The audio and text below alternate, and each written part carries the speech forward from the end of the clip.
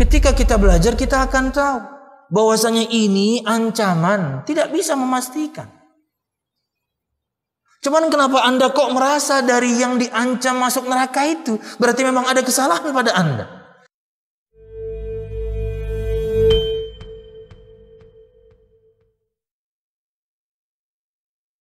Assalamualaikum warahmatullahi wabarakatuh.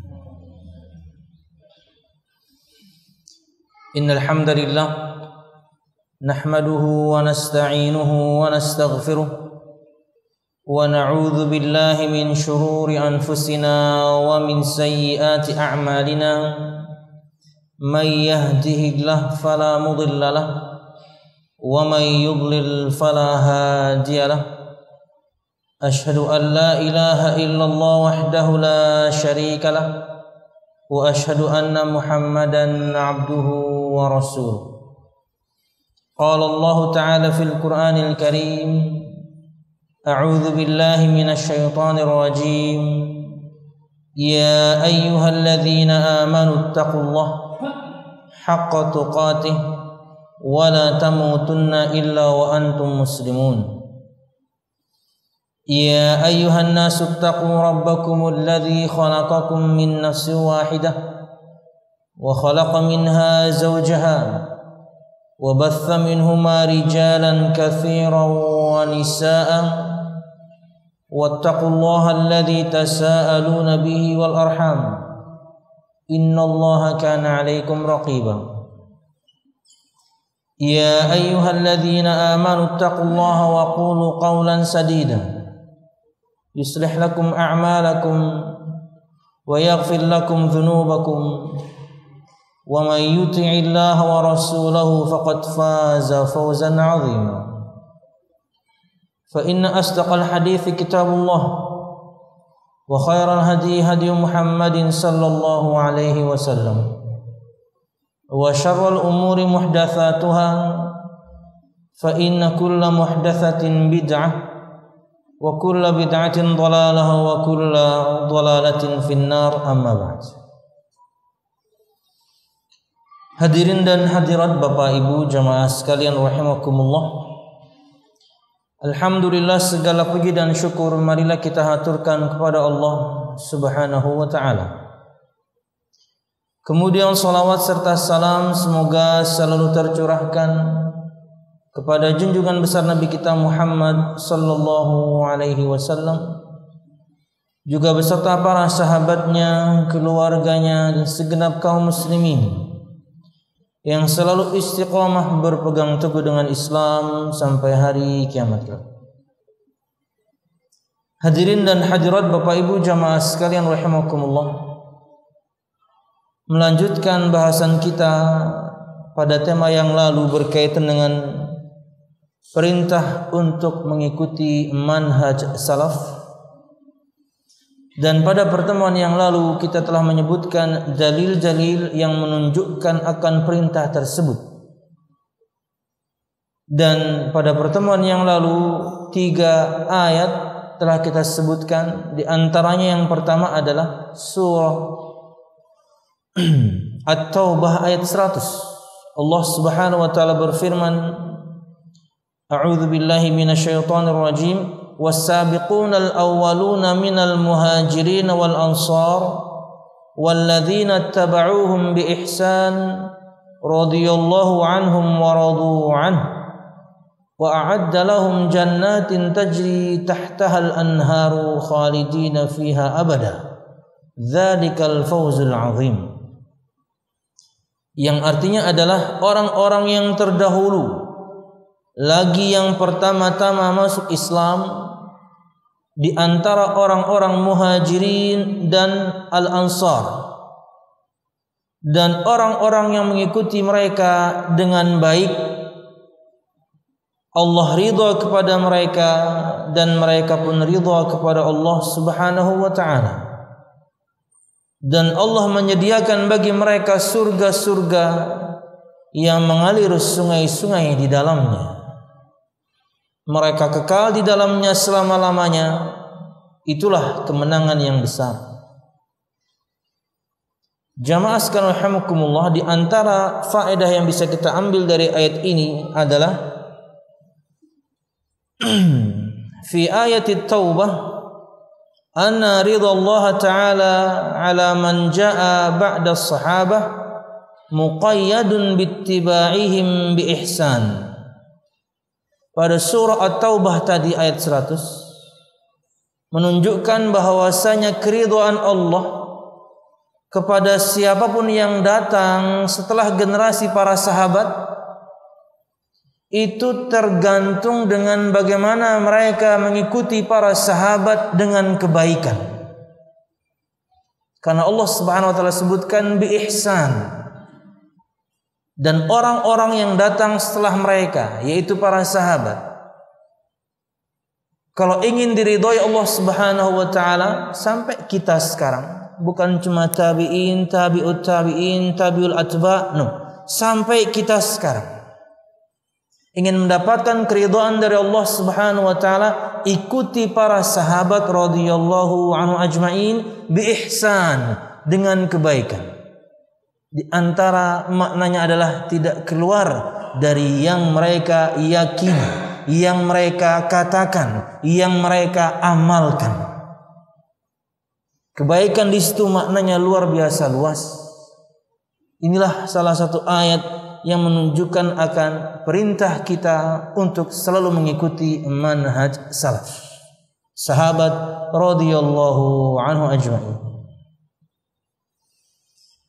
Di antara faedah yang juga bisa kita ambil dari ayat ini adalah ittiba'us sahabah bi ihsan la yakunu ma'al mukhalafati lahum fil aqaidi wal a'mal mengikuti para sahabat dengan kebaikan, mengikuti para sahabat dengan baik, prakteknya adalah la yakunu ma'al mukhalafati lahum, tidak menyelisihi mereka dalam perkara apa? fil aqaidi wal a'mal, dalam perkara akidah, keyakinan dan juga amalan. Perkataan, perbuatan, akidah, ibadah, muamalah, akhlak yang dimaksudkan dengan mengikuti sahabat dengan kebaikan tidak menyelisihi mereka dalam keyakinan dan juga amalan. Inilah dalil yang menunjukkan akan perintah untuk selalu mengikuti manhaj salaf sahabat radhiyallahu anhu ajmain. Kemudian ayat yang kedua yang kita sebutkan pada pertemuan yang lalu adalah surah Al-Baqarah ayat 137. Allah Subhanahu wa taala berfirman, "Fa in amanu bimithli ma amantum bihi faqad ihtadaw wa in tawallaw fa innama hum fi shiqaq fasayakfikahumullah wa huwas samiul alim." Yang artinya adalah maka jika mereka beriman kepada apa yang kamu telah beriman kepadanya jika mereka yaitu orang-orang ahlul kitab beriman seperti yang kalian sudah imani hai para sahabat faqad ihtadau sungguh mereka telah mendapatkan petunjuk. Dan jika mereka berpaling sesungguhnya mereka berada dalam permusuhan kepadamu. Berlaku juga kepada kita. Ulun sebutkan pada pertemuan yang lalu. Perintah kepada kita dari Allah dan Rasulnya sudah datang. Kemudian diterangkan juga sudah kepada kita tafsirannya syarah hadisnya dengan gamblang dan jelas dari para ulama tapi keterangan tersebut tidak sesuai dengan yang kita inginkan yang kemudian membuat kita berpaling dari ayat itu, berpaling dari hadis itu, padahal sudah sampai. Perintah Allahnya sudah sampai, sabda Nabi Muhammadnya sudah sampai dengan makna yang benar dan lurus. Karena memang hujah harus ditegakkan dulu. Nasihat itu harus disampaikan dulu hingga untuk kita yang menyampaikan beban dakwah sudah kita turunkan dari pundak dan mereka tidak punya alasan nanti di hadapan Allah kalau mereka belum tahu Maka jadilah Anda pemberat hisap orang-orang itu. Agar mereka tidak bisa berkilah di hadapan Allah Subhanahu wa taala. Tapi Ustadz, mereka kan yakni ketika tidak mendengar dari kita, ketika tidak mendengar dari kita, mereka bisa beralasan dengan itu. Nabi Muhammad sudah diutus 1400 tahun, 1400 sekian tahun yang lalu. Ke mana saja Anda selama ini? Ada orang, banyak orang bahkan memilih untuk tidak belajar karena takut tahu. Memilih untuk tidak belajar karena takut tahu memilih untuk tidak ikut pengajian, tidak ikut majelis ta'lim karena nanti kalau tahu merasa terbebani karena nggak mampu. Salah. Tetap belajar, tetap nuntut ilmu. Begitu nanti kita tahu akan ilmu tertentu, mohonlah kepada Allah, insya Allah akan dimudahkan untuk mengamalkannya. Apalagi sudah sampai kepada kita secara umum firman Allah sabda Nabi Muhammad. Tidak bisa nanti kita kemudian mengatakan kepada Allah, saya tidak tahu perkara ini dan itu. Betul, ada sebagian orang nanti yang mereka komplain kepada Allah karena ketidaktahuan. Cuman kondisinya nggak kayak kita. Satu, orang idiot. Dua, orang yang pikun. Tiga, orang yang hidup di masa fatrah kekosongan antara Nabi Isa dan Nabi Muhammad. Hampir 400 tahun tidak ada Nabi dan Rasul. Ya, satunya lagi orang yang apa ya? Tuli, tuli kalau nggak salah. Orang yang idiot, kemudian orang yang pikun, orang yang hidup di masa fatrah, iya, dan orang yang tuli kalau tidak salah. Empat empat golongan orang akan komplain kepada Allah Subhanahu wa taala karena saya tidak tahu risalah ini. Saya budak.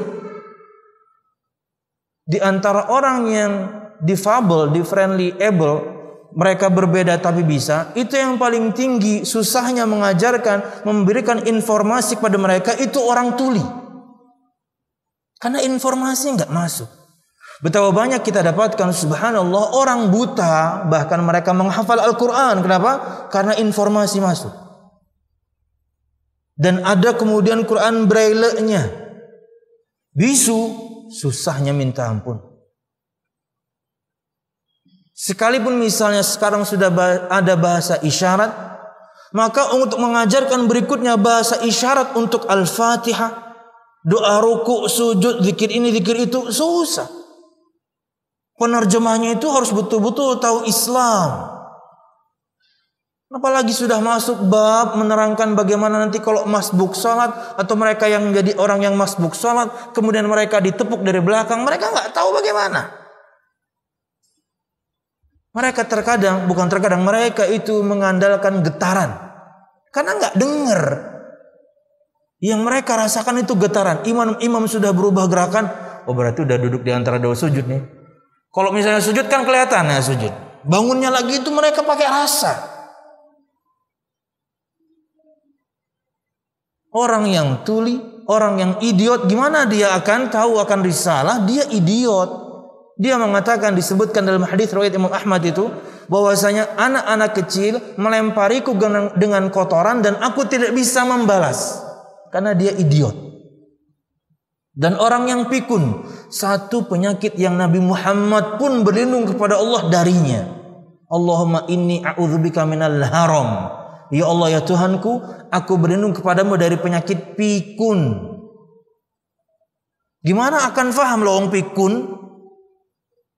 Dan orang yang hidup di masa fatrah. Kita kan bukan empat orang ini.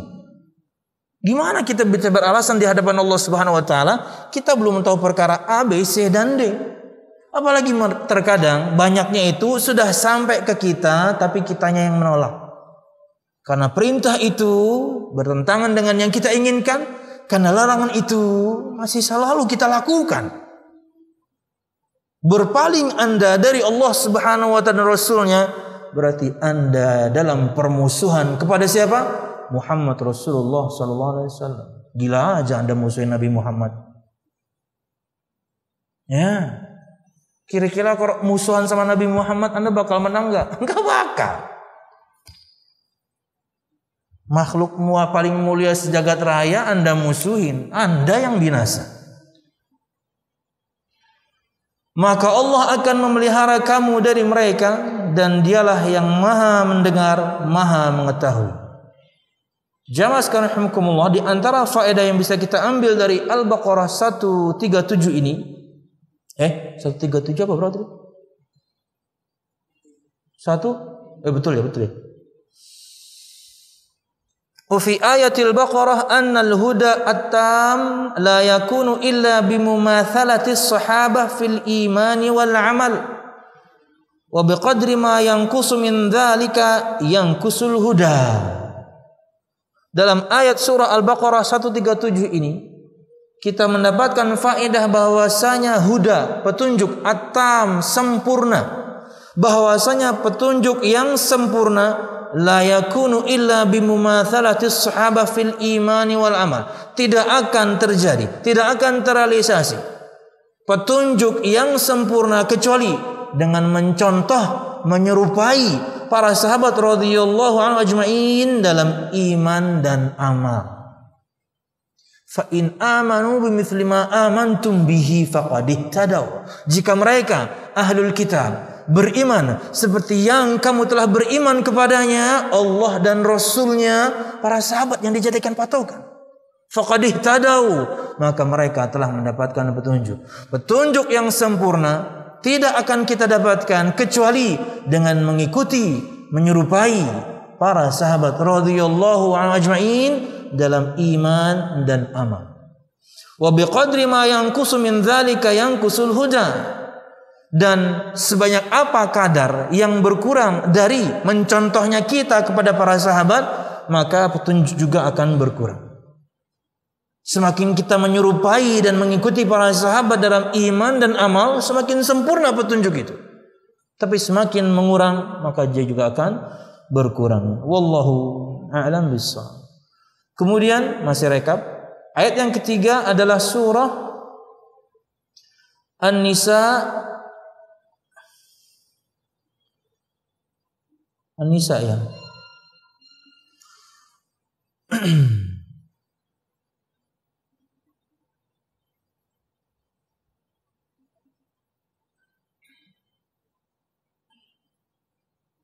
Ya, An-Nisa 115. An-Nisa 115.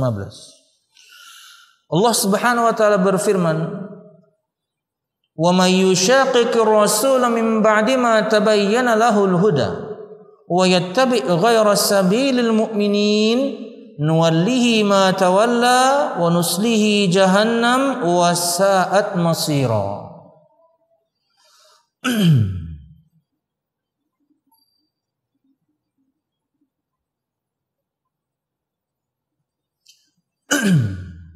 Yang artinya adalah dan barang siapa yang menentang Rasul sesudah jelas kebenaran baginya firman Allah sudah sampai, sabda Nabi Muhammad sudah sampai dengan pemahaman yang benar dan lurus sudah sampai. Entah itu nasihatnya dari pasangan kita, dari orang tua kita, dari anak kita, dari teman kita, sudah nyampe.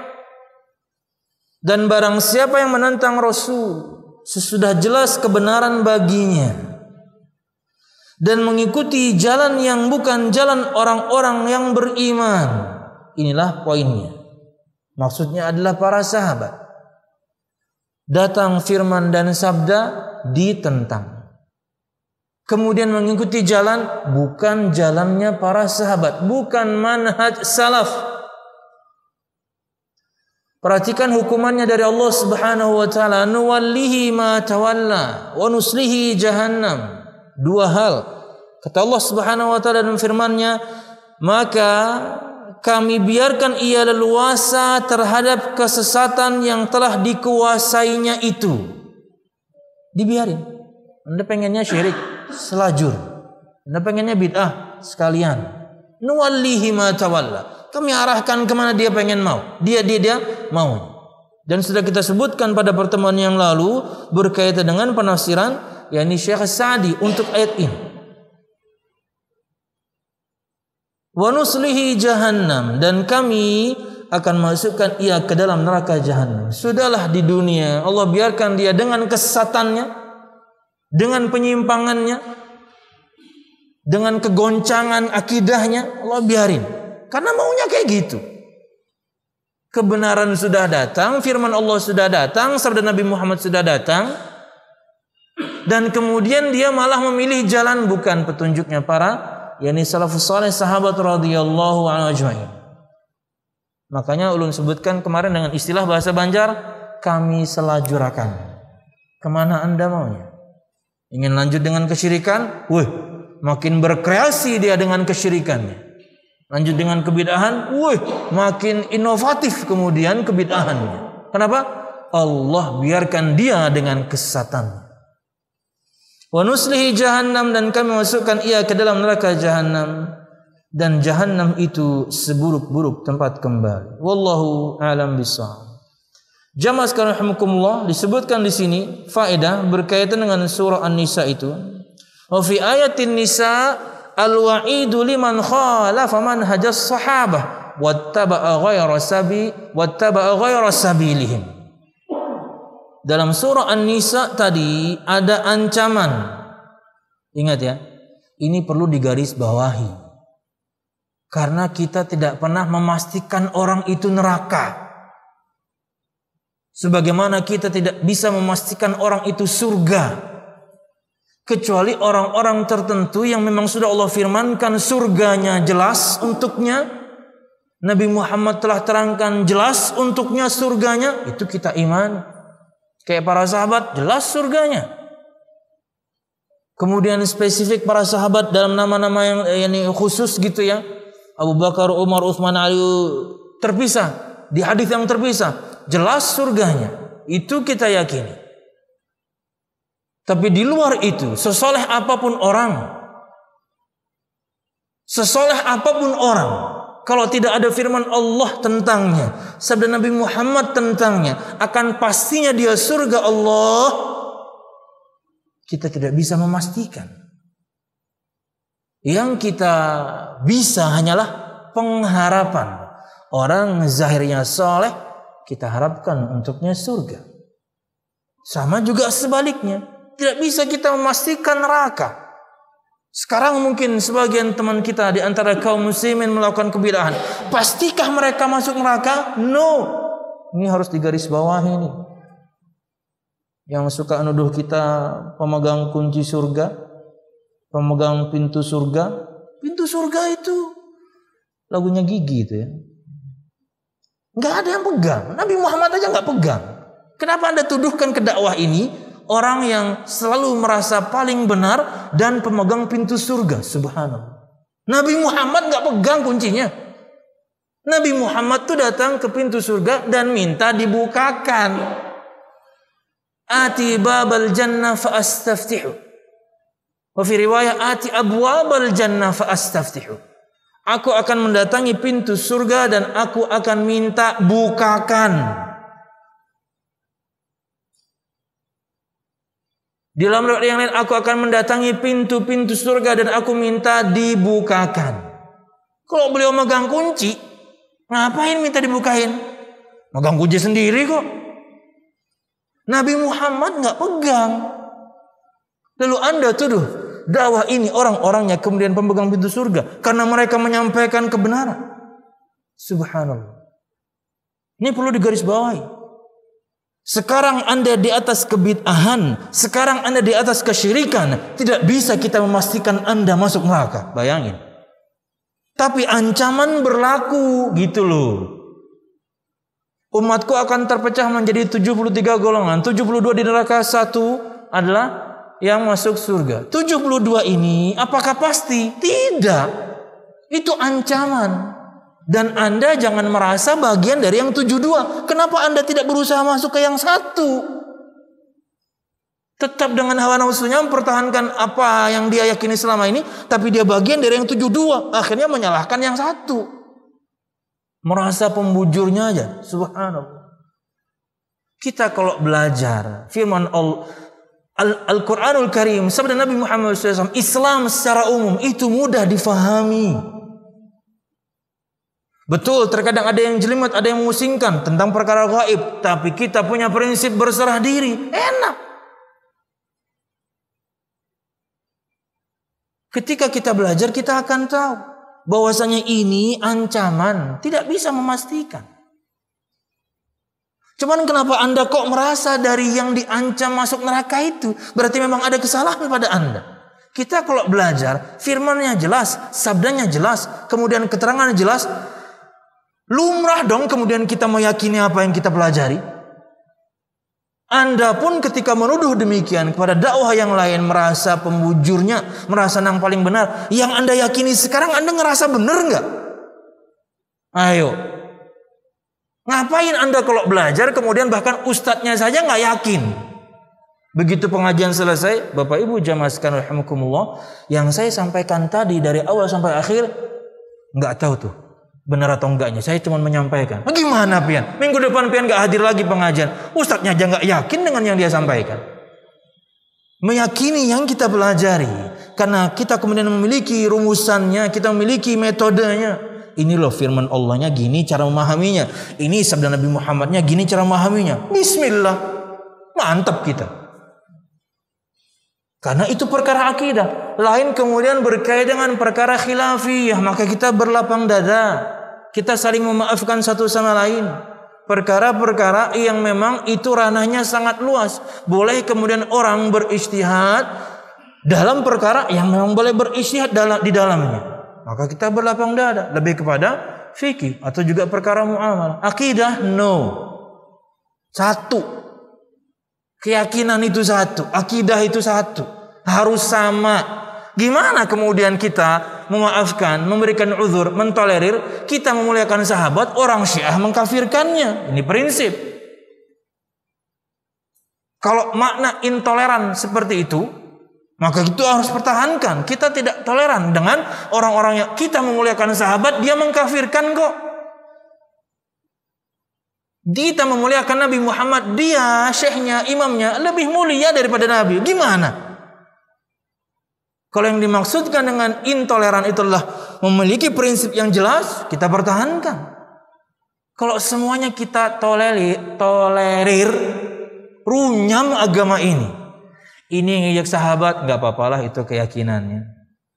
Ini meyakini bahwasanya ada nabi berikutnya setelah Nabi Muhammad, nggak apa-apalah itu keyakinannya. Ngapain beragama kalau begitu?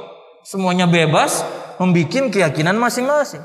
Kalau begitu, Rasul nggak usah diutus, kitab nggak usah diturunkan, semua bikin akidah sendiri aja. Nggak ada gunanya Nabi Muhammad diutus kalau begitu. Kalau semuanya sama aja, subhanallah. Dan itu sudah merasuk di hati kaum muslimin. Toleransinya tuh berlebihan. Toleransinya itu semuanya dia tolerir mengalihnya menyambat. Eh. Wallah bisa. Kita lanjut. Nah, baru kita masuk kepada yakni dalil perintah mengikuti manhaj salaf tapi dari hadis satu ulun pilih dari hadis kemudian satu dari perkataan seorang sahabat kemudian satu lagi sebagai penutup mungkin adalah perkataan seorang imam di antaranya Imam Ahmad mungkin ya biar cukup waktunya. Oke, perhatikan jamaah sekalian rahimakumullah. Bahasan baru kita hari ini lanjutan tentang dalil perintah mengikuti manhaj salaf. Wa qala sallallahu alaihi wasallam fa innahu man ya'ish minkum yara ba'di ikhtilafan katsira. Fa alaikum bisunnati wa sunnatil khulafa'ir rasyidin al mahdiyyin. Wa 'addu 'alaiha bin nawajidh wa iyyakum wa muhdatsatil umur fa inna kulla muhdatsatin bid'ah wa inna kulla bid'atin dhalalah dalam hadis yang dikeluarkan oleh Imam Ahmad dan yang lainnya dan ini disahihkan oleh Syekh Muhammad bin Nasiruddin Al-Albani rahimahullah taala Saya tadi baca baca postingan teman ya, lebih tepatnya dia adik kelas, ustadz juga. Postingannya bagus sekali berkaitan dengan ketika yakni ada uh, sidang untuk disertasi S2, disertasi S3 gitu ya di Saudi Arabia. Kemudian yakni pelajarnya ketika menyampaikan periwayatan hadis Nabi Muhammad SAW itu selalu menyebutkan pengsahihan atau penglemahannya itu milik Syekh Muhammad bin Nasiruddin Al-Albani. Kata beliau, mesti para masyayikh pengujinya itu selalu bertanya, kenapa kok pakai pengsahihan Syekh Albani? Kenapa kok pakai pendhaifan Syekh Albani? Kan ulama terdahulu juga mereka melakukan hal yang sama.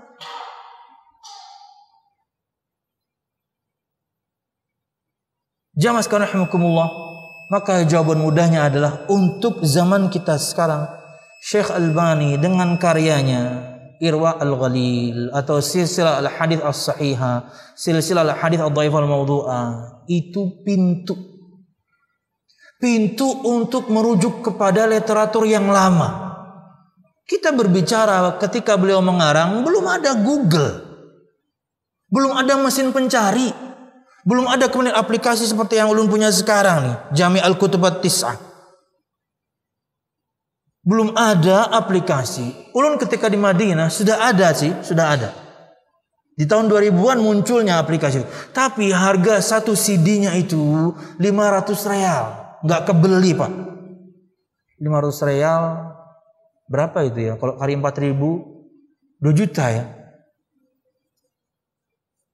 Akhirnya sebagian teman-teman dari Rusia di crack semuanya bisa make gitu. Tapi nanya Syekh dulu, Syekh boleh nggak kita pakai ini aplikasi ini? Kalau beli satuan 500 real Syekh, gaji cuma 800.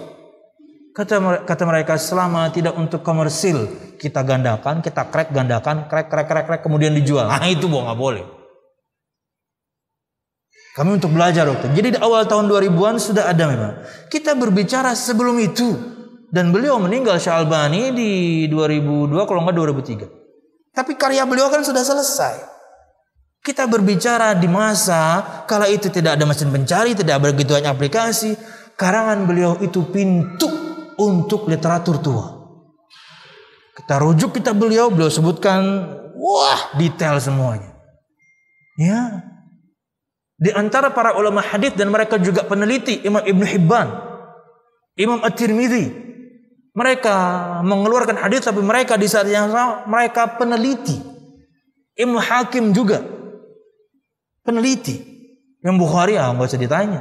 Artinya mereka mengeluarkan hadis dan kemudian mereka berikan derajat hadisnya. Mereka sudah menelitinya. Dan begitu banyak di luar Bukhari Muslim itulah yang dikerjakan Syekh Albani. Karena kalau sudah Bukhari Muslim nggak perlu dibahas. Yang non Bukhari Muslim memang yang dibahas. Ini sahih enggak? Ini lemah enggak? Jangan-jangan ini palsu. Subhanallah. Jadi beliau sangat berjasa ya. Dan tentunya silsilah hadis al-dhaifah yang ulun tahu itu ketika beliau hidup belum selesai, anak perempuannya yang menyelesaikan. Hebat enggak? Perempuan. Kalau tidak salah yang menyelesaikan salah satu karya bapaknya. Syekh Al-Albani. Kita lanjutkan. Alhamdulillah wassalatu wassalamu ala Rasulillah amma ba'd. Berkata Nabi Muhammad sallallahu alaihi wasallam, maka sesungguhnya barang siapa yang hidup di antara kalian setelahku, niscaya dia akan melihat perselisihan yang banyak. Maka atas kalian berpegang teguhlah kalian dengan sunnahku dan sunnah al-khulafa ar-rasyidin yang telah diberikan petunjuk. Gigitlah ia dengan gigi-gigi geraham kalian. Dalam riwayat lain disebutkan dengan gigi taring ya. Wa iyyakum muhdatsatil umur dan jauhilah kalian dari perkara-perkara yang baru dalam urusan agama. Diterangkan dalam hadis yang lain, bukan cuma baru tapi dalam urusan agama. Fa inna kulla muhdatsatin bid'ah karena sesungguhnya semua perkara yang muhdats baru dalam urusan agama adalah kebid'ahan wa inna kulla bid'atin dhalalah dan sesungguhnya setiap bid'ah adalah sesat. Di mana syahidnya? Perhatikan sabda Nabi Muhammad SAW. Kenapa ini di antara dalil perintah untuk mengikuti manhaj salaf? Kata Nabi Muhammad SAW, Alaikum bisunnati wa sunnatil khulafa ar-rasyidin al-mahdi. Berpegang teguhlah kalian dengan sunnahku dan sunnah al-khulafa ar-rasyidin setelahku. Penyebutan khulafa ar-rasyidin khusus tapi yang dimaksudkan dengannya sahabat secara umum. Ulun ulang, penyebutan al-khulafa ar-rasyidin secara khusus mereka kan cuma berempat. Tapi yang dimaksudkan dengan inilah keumuman para sahabat. Perhatikan perintah Nabi Muhammad SAW. Inilah bagian di mana kemudian kita meyakini bahwasanya sunnah para sahabat bagian dari sunnah Rasulullah. Apa? Kata Nabi Muhammad SAW, "Ma'addu 'alaiha bin nawajid." Gigitlah ia dengan gigi-gigi geraham kalian. Dalam makna yang lain gigi tarik. Tapi hakikat kalau kita layaknya uh, kalau kita misalnya sedang menggigit satu tali, kalau misalnya tali itu kita artikan layaknya adalah tali Islam, sunnah Nabi Muhammad, maka gigi geraham tentunya lebih kuat. Gigi taring untuk untuk mencabik, tapi untuk cengkraman itu gigi geraham.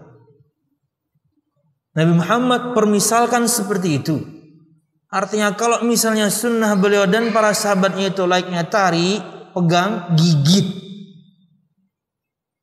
Tapi yang jadi poin adalah Nabi Muhammad sebutkan di sini dengan dhamir ha. Adu alaiha, gigitlah ia. Padahal Nabi Muhammad sebutkan dua hal tadi sebelumnya.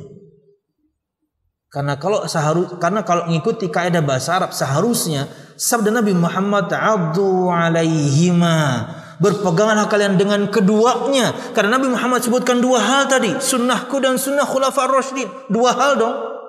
Maka dalam kaidah bahasa Arab ketika yang menyebutkan domir kata ganti maka adu alaihima. Gigitlah dua-duanya. Berpegang teguhlah dengan keduanya. Kan dua hal tadi disebutin. Tapi enggak tuh. Nabi Muhammad sebutkan adu alaiha. Berpegang teguhlah dengannya. Nabi bikin satu bukti bahwasanya sunnah al-khulafaur rasyidin secara umum ada para sahabat bagian dari sunnah Nabi Muhammad sallallahu alaihi wasallam. Dan kemudian ada yakni tahzir untuk melakukan perkara yang baru dalam urusan agama karena ia adalah kebid'ahan dan sesungguhnya semua bid'ah adalah sesat. Hadis yang kedua. Wan Abi Waqid Al-Laythi radhiyallahu anhu anna Rasulullah sallallahu alaihi wasallam qala yawman innaha satakun fitnah. Qalu fa kaifa lana ya Rasulullah? Atau kaifa nasda? Qala tarji'una ila amrikumul awwal. Dalam sebuah hadis yang dikeluarkan oleh Imam At-Tabrani lagi-lagi disahihkan oleh Syekh Al-Albani rahimahullah taala dari sahabat Abi Waqid Al-Laitsi radhiyallahu anhu bahwasanya Rasulullah sallallahu alaihi wasallam bersabda pada suatu hari, "Innaha satakunu fitnah, sesungguhnya nanti akan terjadi fitnah." Di antara maknanya hadis yang sebelumnya, perselisihan yang begitu banyak. Penyimpangan, kesyirikan, kekufuran, kefasikan, sekte ini, sekte itu, agama ini, agama itu, penyimpangan begitu banyak. Itu makna fitnahnya.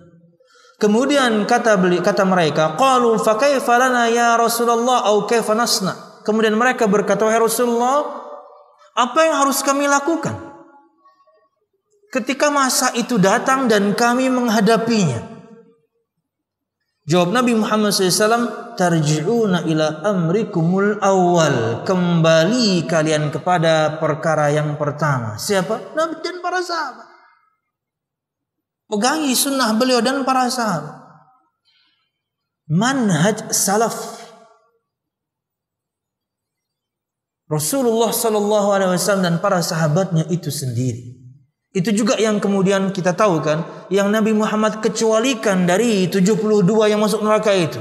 Ma alaihi wa ashabi. Ketika ditanya pada Nabi Muhammad, siapa satu yang selamat itu wahai Rasul?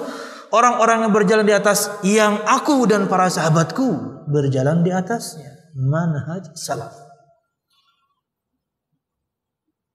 Tiga dari seorang tabi'in.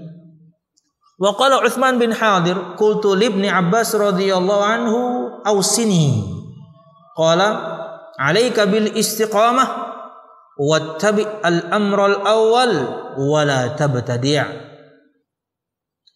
Dalam sebuah riwayat dari Imam Ibnu Battah dalam kitab Ibana berkata Uthman bin Hadir rahimahullah taala aku mengatakan kepada Abdullah bin Abbas radhiyallahu anhu berarti dari seorang tabi'in ya dia ketemu seorang sahabat Abdullah bin Abbas. Ausini wahai sahabat yang mulia berikan wasiat kepadaku. Qala kemudian Ibnu Abbas radhiyallahu anhu berkata alaika bil istiqamah. Istiqomahlah kamu Innalladzina qalu rabbuna Allah tsumma istaqamu. Firman Allah, sesungguhnya orang-orang yang berkata Tuhan kami adalah Allah, kemudian mereka istiqamah. Begitu banyak penafsiran di kalangan para ulama bahkan di para sahabat. Di antaranya penafsiran Abu Bakar As-Siddiq radhiyallahu anhu. Istaqamu ala tauhid, istaqamu ala tauhidillah. Makna istiqamah itu mentauhidkan Allah. Di antara penafsiran ulama yang lain, istaqamu ala taatillah. Istiqomah itu menjalankan ketaatan. Dan di antara penafsiran para ulama yang lain, istiqomah itu adalah jauh dari kesyirikan. Jadi siapa pun di antara kita misalnya yang bertanya, apa mana istiqomah? Ambil salah satu di antara mana tadi atau gabungkan semua. Orang yang istiqomah itu orang yang mengesahkan Allah. Orang yang istiqomah itu yang mempersembahkan ibadahnya hanya kepada Allah bertakwa dan dia jauh dari kesyirikan kepada Allah Subhanahu wa taala. Nasihat Ibnu Abbas radhiyallahu anhu kepada Uthman bin Hadir, "Alaika bil istiqomah, istiqomahlah kamu." Kan sabda Nabi Muhammad juga kayak gitu ya, mirip ya. Ada tuh di Arba'in Nawawi seorang sahabat berkata, "Wahai Rasul, Berikanlah kepadaku wajangan. Aku nggak nanya yang lain deh. Dari engkau aja. Tapi berikan aku wajangan. Qul amantu billah thumma astaqim. Katakan aku beriman kepada Allah dan istiqomahlah kamu. Dalam ketaatan kepada Allah subhanahu wa ta'ala. Alaika bil istiqamah istiqomahlah kamu wattabi am amral awal dan ikutilah perkara atau urusan yang pertama sahabat dan juga Nabi Muhammad SAW. Wala tabtadi' dan wala tabtadi' dan janganlah kamu berbuat bid'ah dalam urusan agama. Tiga nasihat beliau. Jalankan ketaatan. Ikuti dalam menjalankan ketaatan ini ikuti perkara perintah urusan yang pertama maksud Nabi Muhammad dan para sahabat. Kalau ingin selamat dan jangan mengada-ada dalam urusan agama. Wallahu a'lam Kemudian ulun akhiri dengan perkataan Imam Ahmad bin Hanbal rahimahullah taala wa qala al Imam Ahmad diriwayatkan oleh Imam Al-Lalikai dalam kitab Usul I'tiqad Ahli Sunnah wal Jamaah kata beliau usulus sunnah indana at-tamassuku bima kana alaihi ashabu Rasulillah sallallahu alaihi wasallam wal iqtida'u bihim wa tarkul bid'ah wa kullu bid'atin fahiya dhalalah. Berkata Imam Ahmad bin Hanbal rahimahullah, usulus sunnah prinsip-prinsip dasar-dasar sunnah. Maksud sunnah di sini maknanya bukan sunnah menurut definisi ahli fikih, ahli usul, tapi ya umum, agama. Ya, Terkadang kata sunnah itu untuk menerangkan atau untuk penyebutan syariat itu sendiri, agama itu sendiri. Artinya prinsip agama itu, kata Imam Ahmad, menurut kami prinsip agama itu adalah berpegang teguh dengan yang Nabi Muhammad SAW lakukan dan para sahabatnya. At-tamassuku bima kana ashabu Rasulillah wal iktida'u berpegang teguh dengan apa yang para sahabat Nabi Muhammad SAW lakukan dan mengikuti mereka. Itulah prinsip agama kami. Imam Ahmad. Watarkul bidah dan di antara prinsip agama itu meninggalkan kebid'ahan, malah bikin-bikin. Secara tidak langsung Anda mengatakan Nabi Muhammad mengkhianati risalah. Ketika Anda berkreasi pada agama ini atau yang ada ini Anda modifikasi. Anda kira kenal pot kendaraan ini ya, eh agama ini ya. Ketika Anda berinovasi atau kemudian yang ada ini berkreasi, inovasi, bikin. Atau kemudian yang ada ini Anda modifikasi. Dan ini perkataan Imam Malik. Maka Anda mengatakan bahwasanya Nabi Muhammad mengkhianati risalah. Iya dong. Berarti ketika Anda melakukan satu amal ibadah, Nabi nggak pernah lakukan, Anda katakan Nabi Muhammad belum ajarkan yang ini. Berarti Anda katakan Nabi Muhammad, kata Imam Malik, mengkhianati risalah. Kalau sudah mengkhianati risalah, berarti kata maksum atau keistimewaan kemaksuman untuk Nabi Muhammad SAW nggak berlaku. Karena di antara kemaksuman itu adalah Nabi Muhammad SAW menyampaikan kebenaran kepada semua khalayak. Ya. Tidak ada kemudian yang beliau tutup-tutupi. Semuanya beliau sampaikan. Tiga bulan kurang lebih sebelum beliau meninggal, beliau mengatakan kepada khalayak kaum muslimin, ala hal balaghtu. Bukankah aku sudah menyampaikan semuanya? Semua jawab. Bala ya Rasulullah, ya ya Rasul. Engkau sudah menyampaikan semuanya. Enggak ada yang tersisa. Jadi di antara makna kemaksuman itu Nabi Muhammad SAW menyampaikan risalah full. Bukan cuma kemudian dijaga dari pembunuhan, bukan. Dijaga dari kesalahan bukan. Itu makna-makna yang lain. Makna kemaksuman itu banyak. Di antaranya menyampaikan risalah secara total. Kalau Anda mengatakan dengan praktek Anda, Anda nggak ngomong sih, tapi dengan praktek Anda, Anda berkreasi pada agama ini, yang ada ini Anda modifikasi, seakan-akan Anda mengatakan Nabi Muhammad tidak ajarkan itu. Seakan-akan Anda mengatakan Nabi Muhammad kemudian mengkhianati risalah Allah. Berarti beliau tidak maksum. Subhanallah. Kalah sama orang Syiah kalau begitu. Yang meyakini kemaksuman yakni para imam. Belum lagi kasarnya Anda kemudian mengatakan Nabi Muhammad SAW yakni menyimpan ilmu.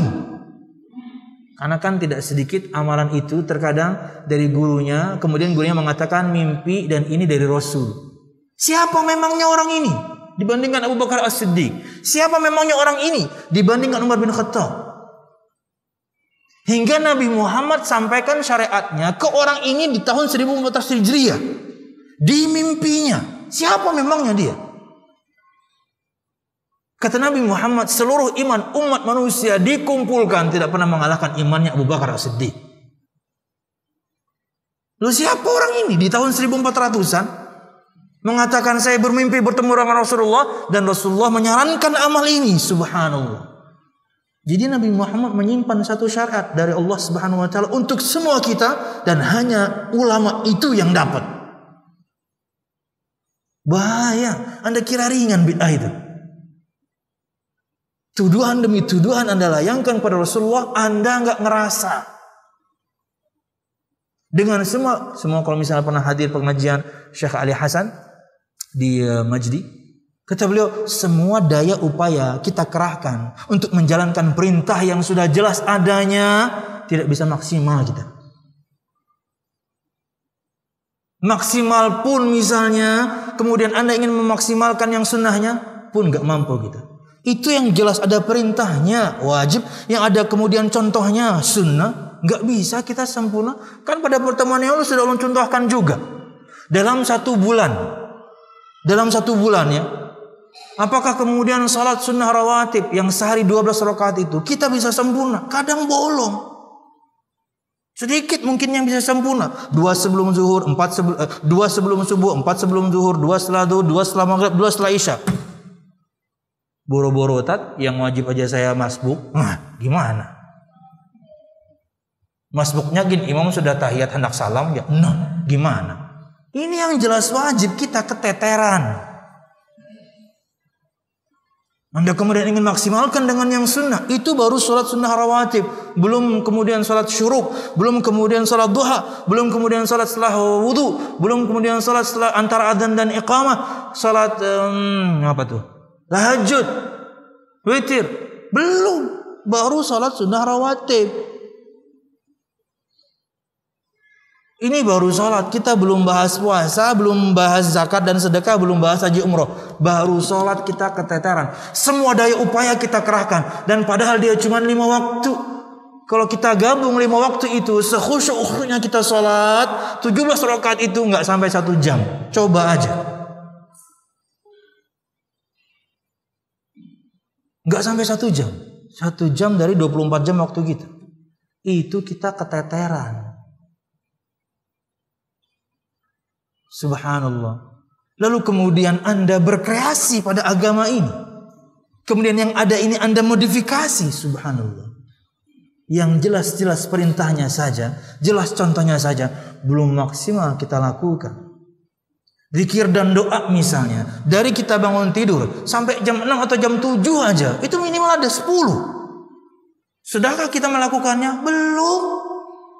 Bangun tidur doa, sebelum masuk WC doa, keluar doa, ngaca doa, pakai baju doa, sebelum wudhu doa, setelah wudhu doa, kemudian keluar rumah doa, kemudian jalan ke masjid doa, masuk masjid doa, keluar masjid doa, kemudian ada zikir pagi dan zikir pagi karena belum petang zikir pagi. 12 baru sampai jam 6 ajaran Nabi Muhammad baru sampai jam 6 12 zikir dan doa. Sudahkah kita menjalankan?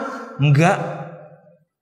Kadang-kadang lupa keluar rumah lupa doa pakai baju lupa doa ngaca lupa doa ya subhanallah semua daya upaya kata Syekh Ali Hasan kita kerahkan yang ada ini saja sudah yakni tidak bisa kita maksimalkan lalu kemudian orang berkreasi Bemalaman kemudian beribadahnya di kuburan ummah. Bemalaman beribadahnya di kuburan subuh guring. Kenapa? Karena sampai malam. Ya, Anda tidur jam 12 saja, bangun jam 5 itu susah. Apalagi Anda tidur jam 1, apalagi jam 2. Ingin bangun jam 5, mustahil. Karena minimal mata ini dan tubuh ini minimal dia perlu 6 jam diistirahatkan. Maka jam 9 tepat, jam 10 nggak apa-apalah. Karena kalau jam 9, jam 10 Anda sudah tidur, itu jam 4 Anda seger. Anda paksain pengen merem-merem lagi nggak bisa karena sudah cukup mata Anda, mata Anda sudah cukup, tubuh Anda sudah cukup. Ayo, aja. Karena batas minimalnya sudah dia dapatkan. Ini oh di kuburan kah atau begendangannya kah? Uh, sampai jam 1 sampai jam 2. Subuh mustahil bangun. Mustahil. Wallahu a'lam bisa. Oke. Okay. Kata beliau, prinsip sunnah menurut kami agama berpegang teguh dengan apa yang para sahabat yakni lakukan, katakan dan mengikuti mereka meninggalkan kebid'ahan dan semua bid'ah adalah kesesatan. Wallahu a'lam bishawab. Ini yang bisa ulun sampaikan. Mudahan bermanfaat salah dan khilaf. Mohon maaf. Mudahan kajian kita diberkahi Allah Subhanahu wa taala. Amin. Ya rabbal alamin. Saya ambil uh, dua pertanyaan ya biar uh, lepas.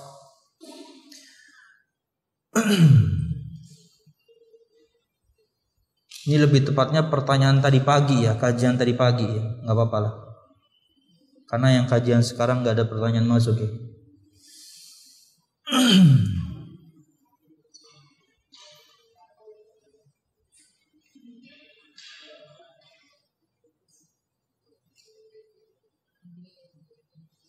Assalamualaikum Ustaz Waalaikumsalam Apakah termasuk menyelisih akidah? Hukum law of attraction umma dia terangkan alhamdulillah maknanya apa? Kalau enggak ya saya buka buka Google dulu ya. Alhamdulillah ada koneksi di sini. Mantap. Di mana kadang beberapa orang meyakini apa yang diucapkan itu akan menjadi kenyataan akan menjadi kenyataannya dicetak tebal sama dia berarti sebelumnya ada pagar eh ada bintang dan bintangnya hmm. Jadi di antara makna hukum law, law tulisannya law, law bacanya, andi law bukan andi law. Law of attraction di mana kadang beberapa orang meyakini apa yang diucapkan itu akan menjadi kenyataan. Jadi kalau mau mewujudkan kenyataan dalam pikiran seringlah memvisualisasikan impian itu. Kayak nulis list impian. Ngucapin saya akan sukses, saya akan punya ini, punya itu di umur sekian dan sekian siap.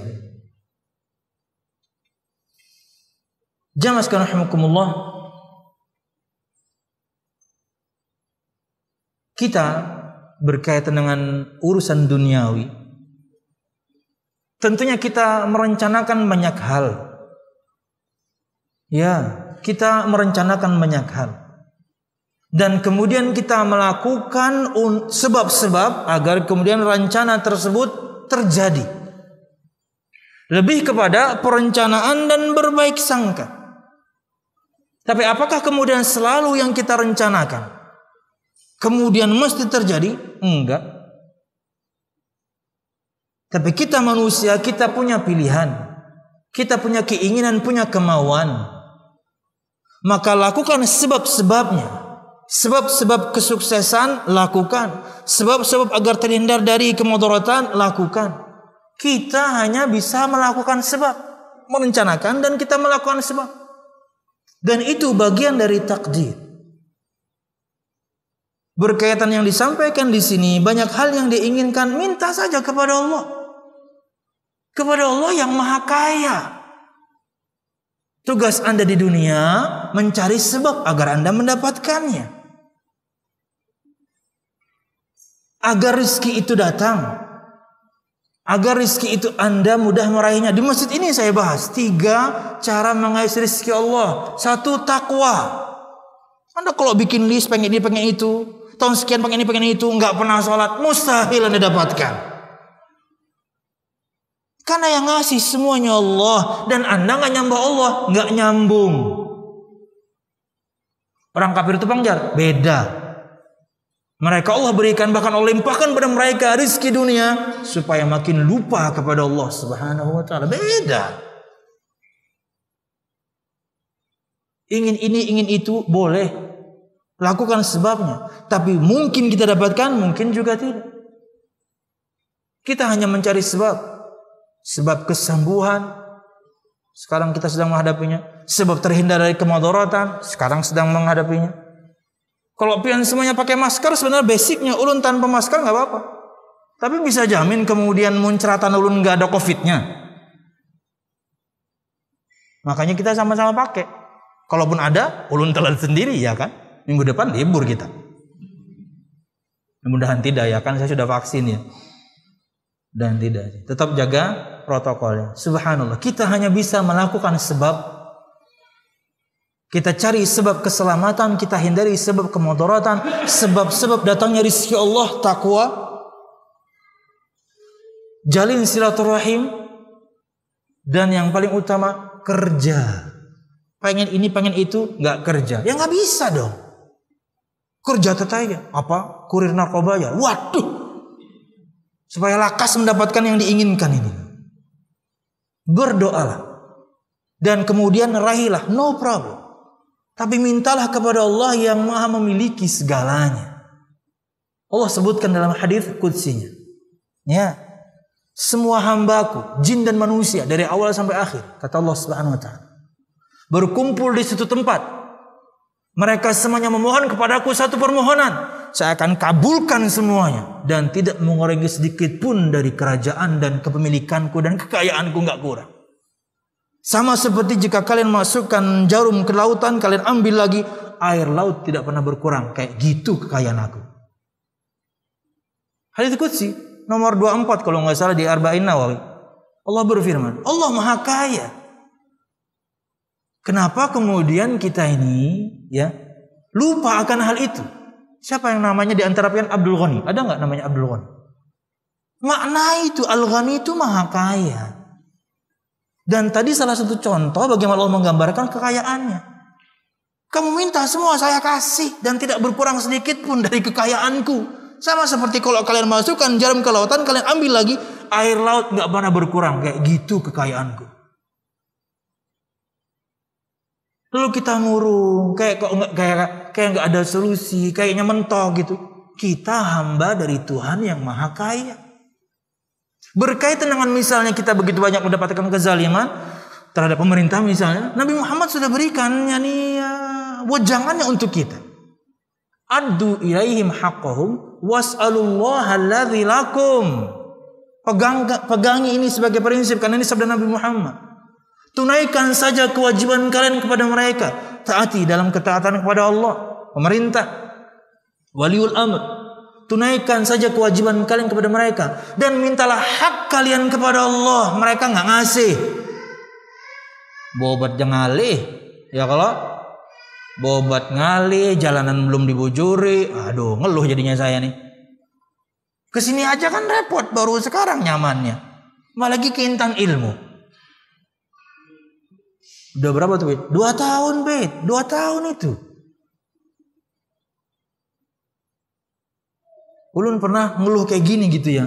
Tapi kemudian ada orang PU yang hadir dan kemudian istrinya yang waktu itu nanya ulun, "Tat, yang pian maksud jembatan di mana?" Jadi jembatan paling lebarnya itu ya nih um, tata balai itu berapa? 6 lah ya. 6 meter kali 2 atau 3. Panjang lebarnya 3 kali 6. Dirusak yang ada, kemudian kita sebagai yakni penduduk di situ dikasih jalan alternatif pakai yakni galam. Di mana kalau sudah pakai galam, mobil nggak bisa lewat, pakai sepeda motor. Kalau pakai mobil muter dulu. Ulun kira sebulan dua bulan, setahun lebih nggak dikerjain. Dan kenapa dihancur? Mending uangnya ada dulu. Saya nggak tahu mekanismenya ya di dinas dinas saya nggak tahu ya. Tapi jangan seperti itu. Ulun ngeluh waktu itu di Masjid Imam Syafi'i. Karena itu pakai eh, jalan ke rumah ulun di Tatah Belayu. Yang ada dihancur bikin alternatif imbah itu kada digawinya. Nah, bete juga tentunya ya nih begitu selesai pengajian itu ada seorang akhwat yang suaminya kerja di PU. Nang di mana yang maksud? Nang tiga buting para wadah kami nih, Pang Bu Ai besoknya langsung dikerjakan. Tapi subhanallah, kita memohon pada mereka nggak dikasih jembatan aja lama baru dibuka. Sampai orang semuanya ngeluh dulu kan baru dibuka kan.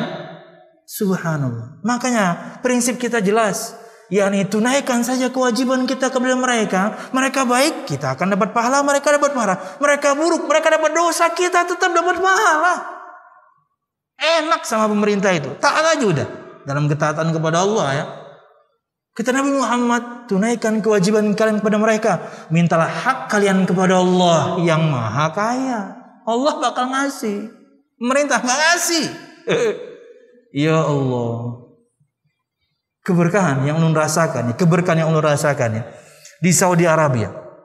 Mudah-mudahan ini bisa berimbas pada Indonesia. Ya. Indonesia ini sangat kaya jamaah. Semuanya kita punya. Saudi Arabia cuman punya oil, cuman punya minyak. Kekayaan laut mereka nggak punya ikan yang saya maksud, atau hutan, gersang gitu gimana? Atau kemudian hasil tambangnya lain, no, no. dia cuman punya minyak. Tapi subhanallah, empat hal yang paling penting dalam kehidupan kita yang kita rasakan sekarang, pendidikan, kesehatan, listrik, air, free. Gratis. Gimana dong? Subhanallah. Bedanya, kata Ustaz Firanda, bedanya cuma satu. Dan ini perkataan Ustaz Firanda yang saya nukil ini. Mereka cuma punya oil. Kita punya segalanya. Bedanya adalah kenapa mereka makmur diberkahi. Bahkan ketika perang pun mereka bantu orang perang pun. Di mana kemudian banyak duit habis untuk bantu Yaman, untuk bantu Suria. Tetap gratis.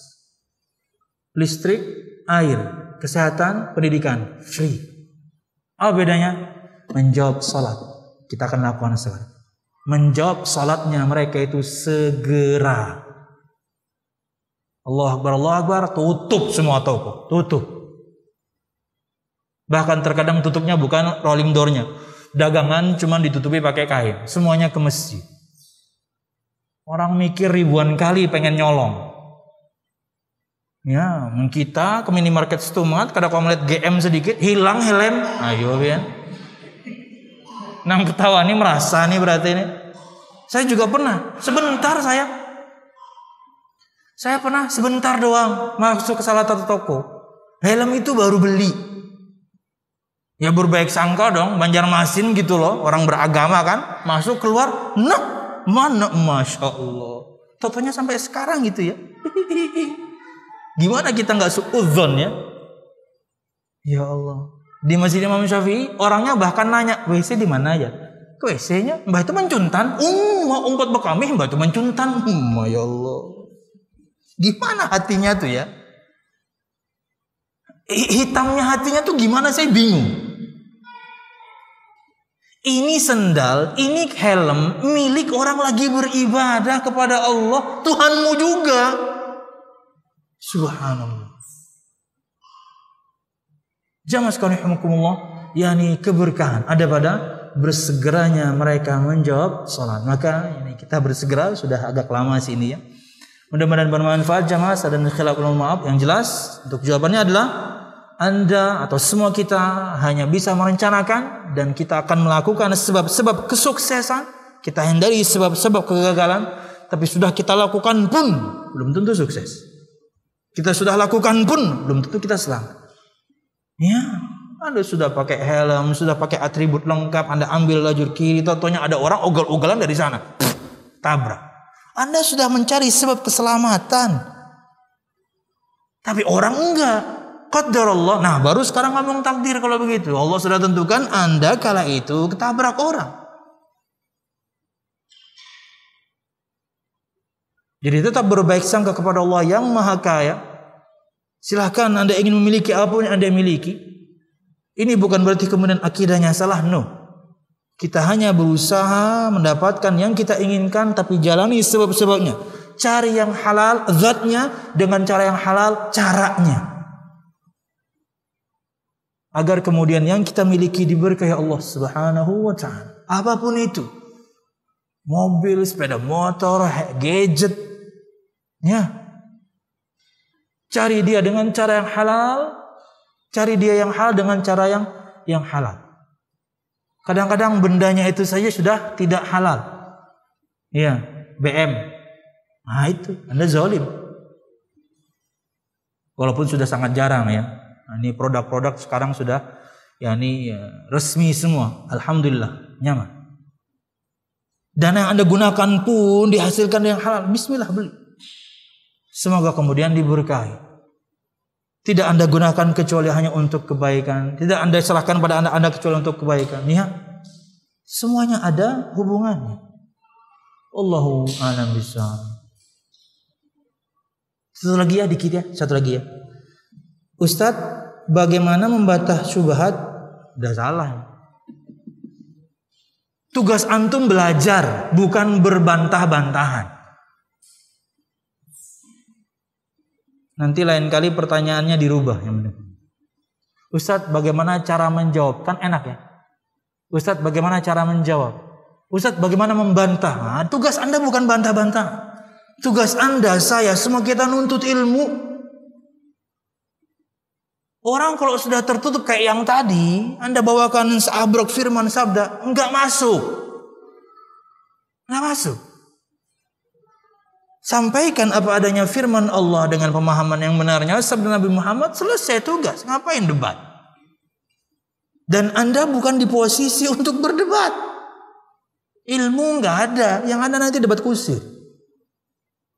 Nanti tengah-tengah debat mentok ustadznya di tagnya, bah dari pertama nggak usah debat kalau gitu kalau anda bakal ngetek saya atau ngetek Ustadz Ahmad. Sibuk debat ahli bid'ah, tek tek tek tek tek. Takuni sidin ya. No, apa. Antum debat selesaikan dong. Udah capek lama-lama atau kemudian kadang sudah diladeni misalnya gitu. Ulun pernah gitu ya. Dulu zaman BBM. Ladeni, ujungnya totonya anak alay. Astagfirullahaladzim. Saya melayani orang alay dari tadi. Atau kemudian sudah lama gitu ya jawab-jawaban. Ya bagaimana lagi saya awam. Loh kalau awam dari tadi jangan dialog dong. Kalau anda awam. Enak benar dari tadi mempertanyakan firman A, firman B, ayat A, hadis A, hadis B, kemudian dengan pemahaman anda begitu ini nggak punya argumen, ya wajar lah. Saya kan awam. Lah ngapain dari tadi dialog kalau situ awam? Nyampe-nyampein kan? Ya, saya aja nyampe-nyampein. Apalagi semua kita para untuk ini nggak usah. Tuntut ilmu aja. Selamatkan diri dan keluarga dari neraka Allah Subhanahu wa taala. Ustadz bagaimana membantah syubhat hasil suatu dari yang haram maka hasilnya haram ini dikaitkan dengan demokrasi. Memilih pemimpin maka pemimpinnya tidak perlu ditaati. Oh. orang HTI ya Ui, mana nih nomornya nih? Hah? belak-belakan aja kita. Iya. Udah dibubarin juga ya. Subhanallah. Jamaah sekarang pemerintah kita tidak sempurna pasti. Tidak sempurna itu pasti. Tapi apakah ada kebaikan pada mereka? Ada dong. Bahkan rukun Islam mereka yang ngurus semua. Ya, bahkan penentuan masuknya satu uh, Syawal satu Ramadan bukankah pemerintah yang nanti? Ada kemudian pengwaktuan sholat mereka juga. Ada basnas mereka juga. Ya. Ada dana-dana khusus kayak kemarin kalau nggak salah, nggak tahu mau berdapat atau enggak. Di, diumumkan gitu, bantuan pemerintah untuk masjid dan musalla. Berkaitan dengan mereka punya kesalahan, iya. Mereka punya banyak penyimpangan. Oh kita lihat kok. Nabi Muhammad sudah ngomong waktu itu. Satakunu umara ta'rifuna wa tunkirun. Akan ada nanti pemimpin-pemimpin kalian kenal mereka dengan kebaikannya, tapi kalian mengingkari mereka karena mereka banyak keburukan. Nabi udah ngomong itu. Ini lengkap agama. Tapi apa perintah Nabi Muhammad SAW? Ketika kita mendapatkan pemimpin seperti itu. Dan ketika para sahabat kemudian mengatakan apakah kita perangi mereka? Enggak. Lah. Ma'aqama fikumus salah. Tidak, jangan, nggak boleh berontak. Selama mereka menegakkan salat di antara kalian, ikuti dalam ketaatan kepada Allah Subhanahu wa taala. Tentang penyimpangannya, tentang bahkan konsepnya, urusan mereka dengan Allah Subhanahu wa taala. Kita rakyat kecil, ya. Mereka baik, dapat pahala mereka, kita rakyat dapat pahala karena kita taat. Mereka buruk, mereka tanggung sendiri. Dan kita dapat pahala karena kita tahu. Nggak gampangan.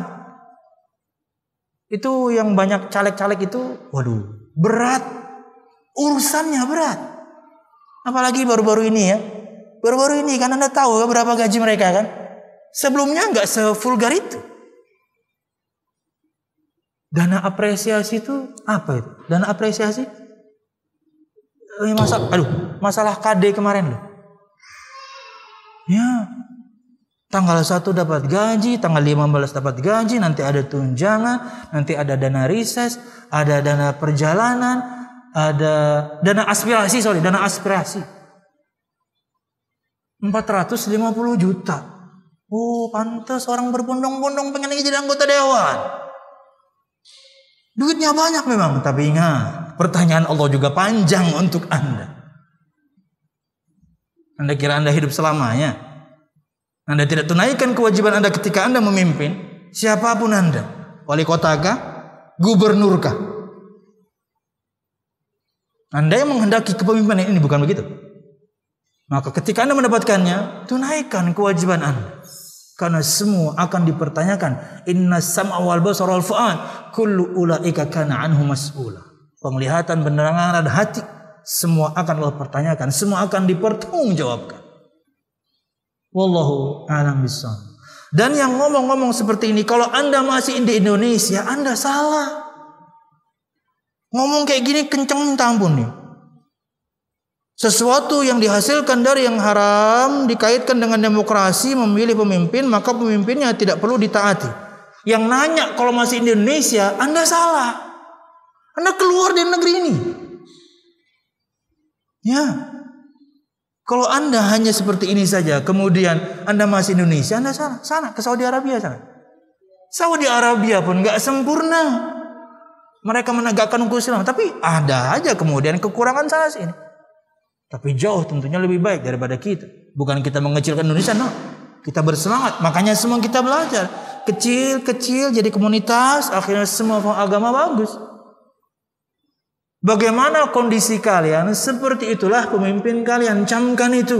Bagaimana kondisi kita sekarang nih? Kita suka bohongin teman, kita suka khianati teman, kita suka curangin teman, kita dalam perkara yang kecil-kecil suka korupsi. Begitulah pemimpin kita nanti. Kenapa para sahabat memiliki pemimpin Nabi Muhammad? Para sahabatnya kayak gitu. Dikasih pemimpin manusia terbaik. Ya. Wallahu a'lam bishawab. Jadi perbaiki di diri kita masing-masing. Berharap dengannya kita dapat kemudian pemimpin yang yang baik. Wallahu alam bisawab. Dan sekarang itu mudah sekali ya. Tapi nggak usah show off ya, nggak usah pengen tampil gitu ya. Nasihatin, di tag Pak Ibnu Sinanya, nasihatin, di tag Pak. Nggak, DM kan bisa. Di DM kan bisa. Ketemu Pak Ibnu Sina di Duta Mall kan bisa gitu. Nggak maksudnya lewat pesan pribadi kan bisa. Walaupun misalnya cuma admin yang pegang, tapi kan pesan sampai. Anda ingin keluhkan A, ulun lakukan soalnya, ulun lakukan. Tapi kan nggak perlu oh, sekarang nih jadi jelas ya. Saya pernah waktu itu melakukan. Kan tinggal telepon. Anda pasti punya kenalan anggota ya nih eh, DPR kota, DPR daerah. Anda kan punya teman. Ada kejanggalan telepon, kasih masukan.